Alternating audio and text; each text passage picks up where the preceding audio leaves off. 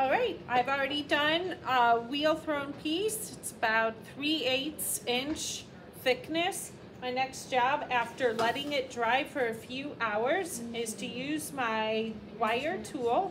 I'm gonna put it between my hands, pull it nice and taut, and I'm gonna pull it right off of the bat.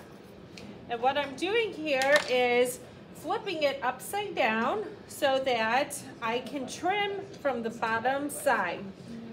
So in order to do that, I also need to anchor it down. So I'm gonna roll out a couple of balls to put along the sides here. I'm gonna do three different edges. And that's gonna hold it in place so that I'm able to do some trimming for the bottom. So right now the bottom is about three quarters of an inch. So what I'm gonna be doing is using a ribbon tool. I like to use a large ribbon tool for this. And what I'm also focusing on is I'm gonna have a steady wheel, probably going closer to medium to slow, slow to medium speed. Go ahead and get that started. I need to make sure that my bowl is on there centered. The only thing that's not centered is this bottom rim here, but the bowl itself is definitely not centered, so I'm gonna go ahead and adjust that just a bit.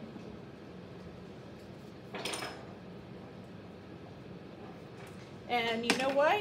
I'm gonna go ahead and pull it off and I'm gonna make new rings at the bottom so I can see where the center is.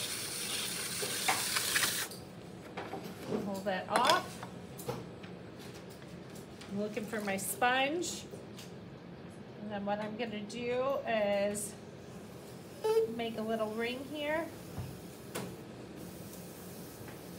And this is gonna help me to understand where the center is so that when I put my bowl down, know where to place it. There we go. Anchor it down with three separate little balls. Those will get removed later on. And now when I turn on my wheel, my bowl should be fairly centered. I see a little bit of a wobble. I'm looking straight down. If you don't have a bowl that's centered, that certainly makes this much harder. Scoot it over this way a little bit. Turn it back on.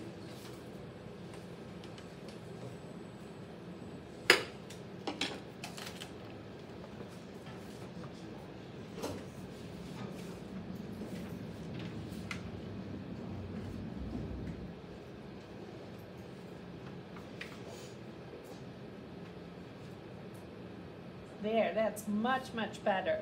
All right, so now my next job is I'm gonna trim the bottom here along this edge to round it a little bit more like the rest of my bowl.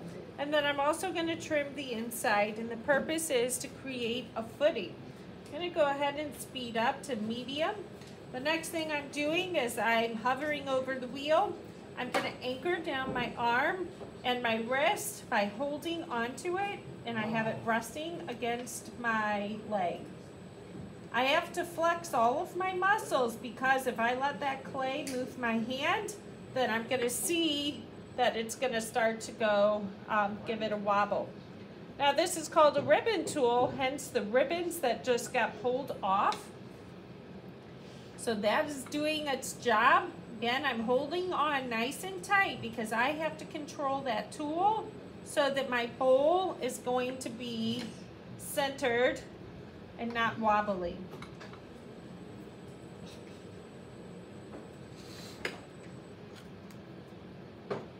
Pulling off all those ribbons.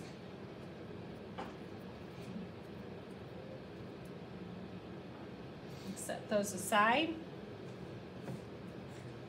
And then now I'm going to work on the footing. I'm going to go at a slower speed creating a nice slow speed so that I can go in and start working on that footing. And what I'm doing is creating that nice round bottom and then I'm gonna pull off the extras. Go ahead and use my rib tool, get that wet. And I'm gonna pull off, whoop, a little too fast.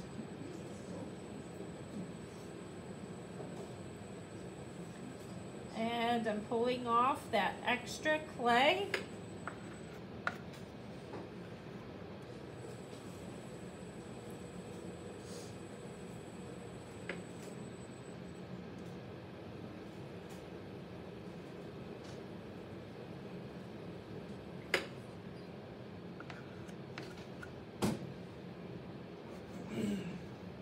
Right, now I'm gonna go ahead and give this some time for it to dry.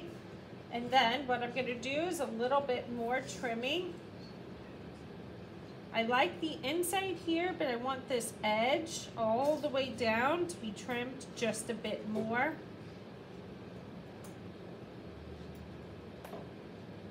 You might see my fingers or knuckles looking white. That's because I am flexing to hold my rib tool steady. If you allow the clay to move that tool, you're not gonna have a symmetrical piece.